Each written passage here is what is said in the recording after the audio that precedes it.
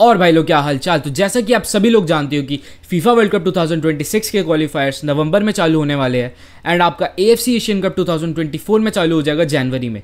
तो इसको आप कंसिडर कर सकते हो कि एक न्यू साइकिल में जो इंडियन फुटबॉल जा रहा है एंड यहाँ पे सबसे बड़ा क्वेश्चन यही रहेगा कि इंडियन फुटबॉल टीम का कोच कौन रहेगा? तो यहाँ पे ईगोस्ट मैच और एआईएफएफ को मिलके डिसीज़न लेना पड़ेगा। अभी टाइम में जो वो डिसीज़न लेना पड़ेगा। एंड इस पे मैटर करता है कि आपके एआईएफएफ का क्या विजन है पूरे इंडियन फुटबॉल को लेकर। एंड जहाँ तक न्यूज़ आ रही है, हम सब यही देख रहे हैं कि ईगोस्ट मैच को जो है एक्सटेंशन मिलने वाला है। एंड अगर अभी अभी के कॉन्ट्रैक्ट की बात करें तो वो जो है ए एशियन कप तक है, उसके बाद जो है उनका कॉन्ट्रैक्ट जो है खत्म हो जाएगा। तो हमने ये भी सुना कि मेल्स भेजे गए हैं गोस्ट मैच को एआईएफएफ द्वारा। एंड मिस्टर कल्याण चौबे भी पूरा फेथ दिखा रहे हैं हमारे कोच में। तो इस पूरे सागा में इतना ड्रामा कहाँ से आ रहा है?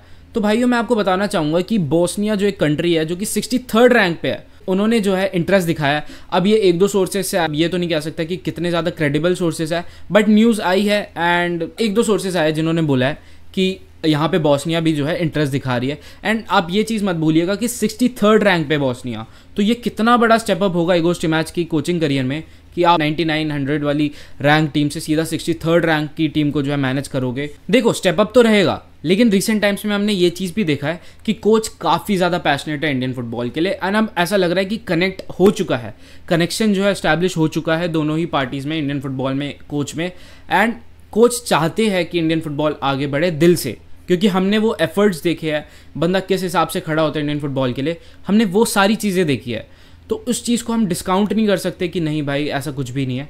बिल्कुल, ये चीज़ें भी जो है मायने रखती है एंड हम कोच पे भरोसा तो रखते ही हैं। एंड सबसे बड़ी कंडीशन जो उन्होंने यहाँ पे रखी है, वो ये रखी है कि मुझे पूरी बैकिंग चाहिए नेशनल टीम के लिए।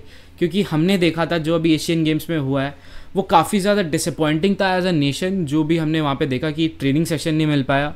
मन मुताबिक टीम नहीं मिली एंड वहाँ पे जाके जैसी लैंड हुए हो, उसी में इतनी जल्दी जल्दी मैचेस करवा दिए गए एंड चाइना से, जो हम इतनी बुरी तरह हारे तो वो कहीं ना कहीं अफेक्ट तो करा है एंड डिसअपॉइंटेड भी थे हमारे कोच हम अगर लास्ट वाला मैच भी देखें, उसमें जो प्रेस कॉन्फ्रेंस थी, उसमें यही बोल रहे थे कि अगर आपको भेजनी है टीम तो प्रॉपर टीम भेजो या फिर ना भेजो। एंड स्किल्स का जो इशू था क्वालिटी का इशू था, वो गोष्ठी मैच ने बिल्कुल मतलब ब्लेटेंटली बता दिया है कि हाँ ये सारे इश्यूज़ हमने देखे हैं। धीरज सिंह की तारीफ़ करी थी वहाँ पे बट इस चीज़ से काफ़ी नाखुश दिख रहे थे कि नहीं भाई, मैंने जो टीम मांगी थी वो मेरे को नहीं भेजी गई। एंड एक और चीज़ मैं एड्रेस करना चाहूँगा, हमने बांग्लादेश और म्यांमार जैसे नेशन को हरा तो दिया इन एशियन गेम्स में बट आप और मैं जानते हो कि वो फ्लेयर वो क्वालिटी मिसिंग थी। जो हमने इस साल की शुरुआत से देखी थी। तो ये एक सागा है जो हमें ध्यान रखना पड़ेगा कि क्या पता इसके चलते जो है एगोस्ट मैच सर जो है, ना करे अपना कॉन्ट्रैक्ट रिन्यू एक और मांग जो इगोस्ट मैच काफ़ी टाइम से जो मांग रहे हैं, वो है लॉन्गर कैंप्स की। अब देखो यार, इसमें तुम्हारे मिक्सड ओपिनियन हो सकते हैं। कोई बोलेगा कि हाँ भाई, लंबे कैंप्स जो इंडियन टीम डिजर्व करती है। एंड दूसरी तरफ़ जो क्लब सपोर्ट करते हैं, जो क्लब फुटबॉल को सपोर्ट करते हैं, वो बोलते हैं कि क्लब्स का भी पैसा लगा है, वो भी इक्वल इंपॉर्टेंट है। एंड यार, अगर मैं इसमें तुम्हें अपना एक ऑनेस्ट ओपिनियन दूँ ना तो इसमें आप एक चीज़ को सपोर्ट नहीं कर सकते हो। यहाँ पे दोनों ही पार्टीज़ को इंडियन फुटबॉल को क्लब्स को, चाहे वो इगोस्ट मैच हो गए, सबको एक मिडिल ग्राउंड पकड़ना होगा और एक डिसीज़न लेना पड़ेगा क्योंकि अगर आप क्लब वर्सेस कंट्री करने लग गए ना तो उसमें दोनों का ही नुकसान है। क्योंकि हमें ये चीज़ नहीं भूलनी चाहिए कि इंडियन टीम में जो परफॉर्म कर रहे हैं ना अभी प्लेयर्स उसका काफ़ी श्रेय इन इंडियन क्लब्स को जाता है। अब जैसे एग्ज़ाम्पल की बात करूँ तो यहाँ पे चांगटे का एग्ज़ाम्पल लेते हैं। अगर चांगटे को चेन्नई एफ़ या फिर मुंबई सिटी एफसी वैसा डेवलप नहीं करती गेम टाइम नहीं देती अपने गेम्स में तो क्या आज हमको एक ऐसा वर्ल्ड क्लास विंगर मिल पाता जिस, जो इतना बढ़िया निकल के आया सामने? या फिर लिस्टन कोलासो को अगर मोहन बगान जो है ट्राई नहीं करती, या पुया को फॉर द मैटर नहीं करते यहाँ पे ट्राई ये सारे इंडियन क्लब्स तो क्या आपको लगता है जो इतना बढ़िया डिलीवर करते ये लोग इंडियन टीम के सेटअप में आके, वो कर पाते? तो इस पर मेरा यही टेक है कि Indian clubs versus Indian football को अलग अलग एंटिटीज़ की तरह नहीं देखना चाहिए। दोनों एक ही चीज़ है भाई, दोनों साथ में मिलकर काम करते दोनों एक दूसरे को कॉम्प्लीमेंट करते हैं, तभी जाके हमें सुनील छेत्री सर जैसे लेजेंड्स जो है देखने को मिलते हैं। तो ये वाला प्लीज़ हटा दो कि क्लब वर्सेज इंडियन फुटबॉल ये वाली कंट्रोवर्सी या फिर ये वाली बात ही नहीं होनी चाहिए कॉन्वर्जेशन दोनों साथ में मिलके ही इंडियन फुटबॉल को आगे बढ़ा सकते हैं।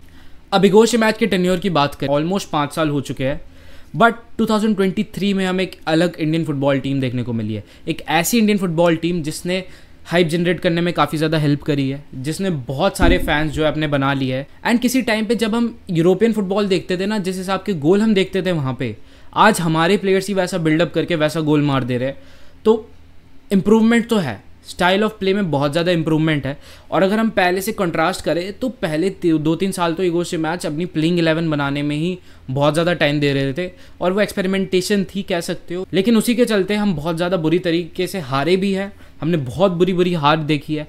जो कि हम उस टाइम पे बहुत गुस्सा हो जाते थे कि ये चीज़ क्या चल रही है चीज़ क्या हो रही है। लेकिन 2023 में सारी चीज़ें बदल चुकी है। एंड यहाँ पे एक और पॉइंट आ जाता है कि जो लॉन्गर कैंप्स की जो बार बार मांग करते रहते हैं ना गोस्ट मैच वो कहीं ना कहीं यहाँ पे जस्टिफाई हो जाती है। क्योंकि 2023 ऐसा साल था जहाँ पे उनको इतना लंबा कैंप मिला टीम के साथ। एंड आपको पता है intercontinental cup tri nation cup और आपके सैफ कप जितने भी मैचेस आए जस्टिफाई करता है बंदा भाई। अगर वो लॉन्गर कैंप्स माँगता है तो वो डिलीवर भी करता है। तो ओवरऑल यही बात है कि हम अगर पहले की बात करें तो हमारा ना तो कोई स्टाइल ऑफ़ प्ले था, ना हमारी कोई प्रॉपर प्लेइंग इलेवन थी, ना इतनी हाइप मिलती थी इंडियन फुटबॉल को, लेकिन 2023 में चीज़ें बदली है।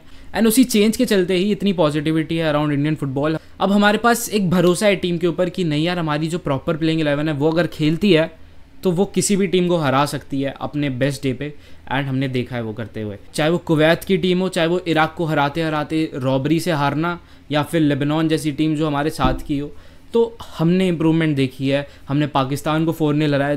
खैर, वहाँ पे कोई कंपैरिजन नहीं है बट हमने जो अपने लोअर रैंक टीम है, उनको भी थ्रैश करा है। और एशियन गेम्स को प्लीज़ इसमें गिनना मत। एशियन गेम्स एक ऐसा टूर्नामेंट था, जहाँ पे बहुत एडवर्स कंडीशन में हमने जो है फिर भी रिज़ल्ट निकाल लिए सुनील छेत्री सर के चलते।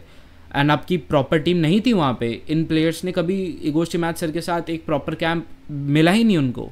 तो उस चीज़ को आप ना कंसिडर करें। एंड उससे पहले प्रायर जितने भी टूर्नामेंट हुए, उसको कंसिडर करना। King's cup intercontinental cup tri nation cup SAFF cup उसमें जो हमारी परफॉर्मेंसेज थी। दोज वर कमेंडेबल एंड मुझे लगता है यार कोच साहब को और कुछ भी प्रूव करने की ज़रूरत नहीं है। इनके जो रिजल्ट्स थे रिज़ल्ट स्पीक फॉर देमसेल्फ और ये कहीं ना कहीं बात सच होती हुई नज़र आ रही है।